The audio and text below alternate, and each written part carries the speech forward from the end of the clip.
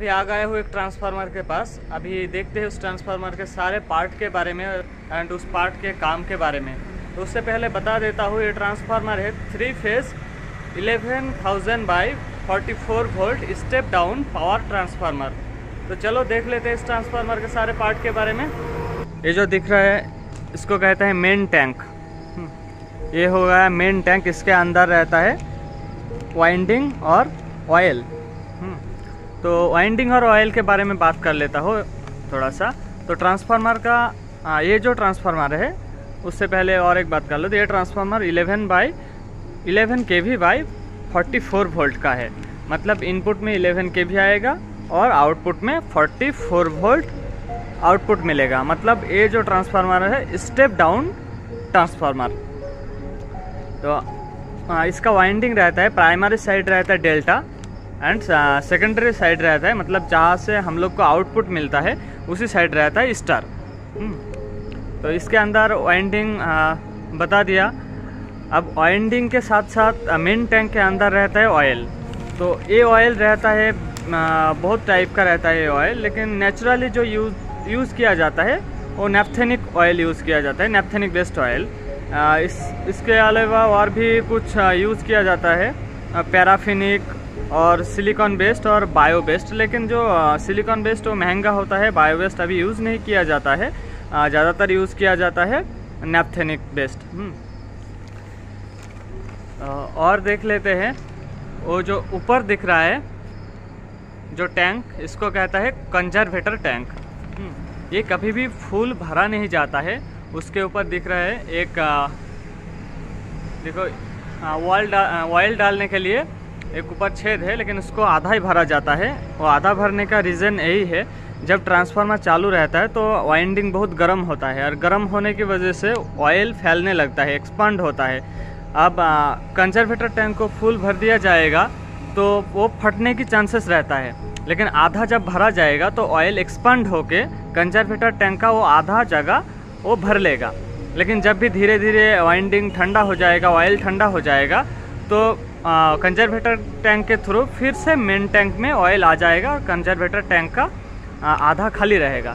तो देख सकते हैं कंजर्वेटर टैंक के साथ और मेन टैंक के साथ ये कनेक्ट है। और कंजर्वेटर टैंक के ठीक बाजू में ये लगा है ब्रीथर देख सकते हो ये लगा है ब्रीथर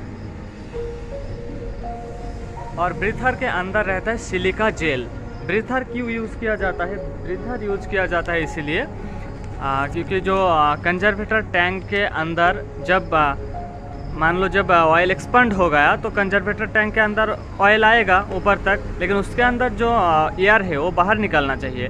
तो बाहर निकलेगा, लेकिन जब ठंडा हो जाएगा ऑयल तो धीरे धीरे उसका एक्सपेंडेशन ख़त्म होने लगेगा और मेन टैंक में आने लगेगा। तब बाहर से वो एयर इनटेक होगा। तो बाहर से एयर इनटेक होते के टाइम एयर के साथ में बहुत सारा मॉइस्चर रहता है और बहुत कुछ रहता है। तो मेनली मॉइस्चर को एब्जॉर्ब करने के लिए, नमी को एब्जॉर्ब करने के लिए ये ब्रीथर को यूज़ किया जाता है। और ये ब्रीथर के अंदर जो सिलिका जेल है, अभी तो ये ब्लू कलर में है मतलब ये सही है। जब ये सिलिका जेल ऐसे मतलब पिंक कलर का हो जाएगा, तब मान लो वो सिलिका जेल ख़राब हो चुका है आ, उसका लाइफ ख़त्म हो चुका है तो उसको चेंज करना होता है। तो ये जो दिख रहा है ये हो गया कूलिंग ट्यूब या रेडिएटर हम्म। जब ऑयल गर्म हो जाएगा ये मेनली काम करता है ऑयल को ठंडा करना। हाँ ऑयल कूलिंग प्रोवाइड करता है। ऑयल कूलिंग प्रोवाइड करने के लिए मेनली यूज़ किया जाता है रेडिएटर या कूलिंग ट्यूब जब मान लो ऑयल गर्म हो गया तो कोई भी लिक्विड का एक फार्मूला रहता है फंडामेंटल रहता है जो गर्म है वो ऊपर की तरफ़ रहेगा जो ठंडा है वो नीचे की तरफ़ रहेगा। तो मान लो गर्म होगा तो ऊपर की तरफ़ से नीचे की तरफ़ धीरे धीरे आता रहेगा। जितना ठंडा होगा नीचे की तरफ़ आता रहेगा मेन टैंक में जाता रहेगा।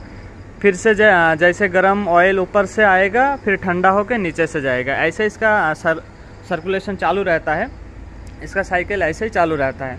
हम्म, उसके बाद आ, देखो ये हो गया तुम्हारा जो जब हम लोग सैंपल लेते हैं हाँ ये हो गया सैंपल वाल। जब ऑयल का सैंपल लेते हैं हम लोग ऑयल का ब्रेक डाउन टेस्ट करना होता है ब्रेक डाउन वोल्टेज कितना है ऑयल का टेस्ट करना होता है, तब इसी वाल के मदद से हम लोग ऑयल निकाल लेते हैं और उसी का टेस्ट करते हैं। ये हो गया ट्रांसफार्मर का नेम प्लेट ट्रांसफार्मर का नेम प्लेट एक, ये भी बहुत बड़ी एक टॉपिक है।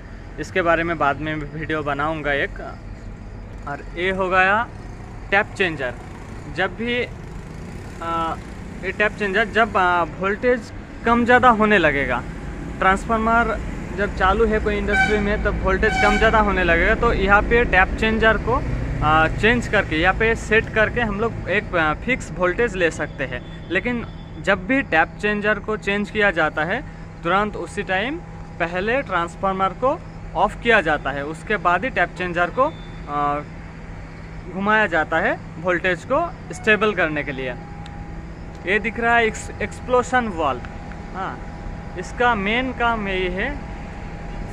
मान लो आ, जब ऑयल एक्सपांड हो गया कंजर्वेटर टैंक भी भर गया फिर भी ज़्यादा एक्सपांड हो गया ज़्यादा गैसेस बन गया। तो ज़्यादा गैसेस बनने की वजह से ट्रांसफार्मर के अंदर बहुत सारा गैसेस बन गया। तो उसके लिए उसको तो जगह चाहिए। मान लो कंजर्वेटर टैंक भी भर गया फिर और ज़्यादा ऑयल कहाँ जाएगा? तो ये जो एक्सप्लोशन वाल्व है मान लो कोई खराबी आ गया तो ये एक्सप्लोशन वाल का जो ये अगले वाला हिस्सा दिख रहा है यहाँ पे ये बना होता है एक नरम धातु से। हम्म, जो ट्रांसफार्मर की जो बॉडी है जो मेन टैंक है उससे बहुत नरम धातु से बना होता है। तो पहले वो फट जाता है जैसे आपके सभी का घर में प्रेशर कुकर होगा प्रेशर कुकर का तो मेन एक सीटी, जो सीटी देते हैं, मेन एक वॉल वो तो रहता है, ठीक उसके पीछे उसके नीचे एक सेफ्टी वॉल रहता है। जब सीटी मारना बंद हो जाएगा या किसी कारण से सीटी फेल हो जाएगा, तब वो एक जो रहता है सेफ्टी वॉल, वो फट जाता है। और प्रेशर कुकर भी सेफ़ रहता है और जो कुकिंग करता है उसी टाइम वो भी सेफ़ रहता है। तो ये हो गया सेफ्टी के लिए, फुल सेफ्टी के लिए एक्सप्लोसन वॉल्व और बुशिंग तो मैं दिखा नहीं पाया हूँ इस ट्रांसफार्मर के। और भी बहुत सारा पार्ट है ट्रांसफार्मर का तो बुशिंग तो मैं दिखा नहीं पाया हूँ। और देखो ये ग्राउंड किया गया है ट्रांसफार्मर को। ट्रांसफार्मर को क्यों क्यों ग्राउंड किया जाता है, इसके बारे में भी एक वीडियो लेके आऊँगा। बाकी ट्रांसफार्मर के बारे में कोई भी सवाल तुम्हारे मन में रहेगा, कोई भी सवाल करना है तो कमेंट बॉक्स में कर सकते हो। मैं उसका आंसर देने की कोशिश करूँगा।